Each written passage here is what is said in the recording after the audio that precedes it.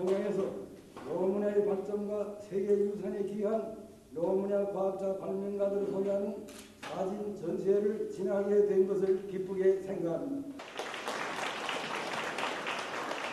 Gratitude and appreciation to the Committee for Cultural Relations with Foreign Countries and to the Ministry of Foreign Affairs of the Democratic People's Republic of Korea for their dedicated involvement and valuable support which made this event possible.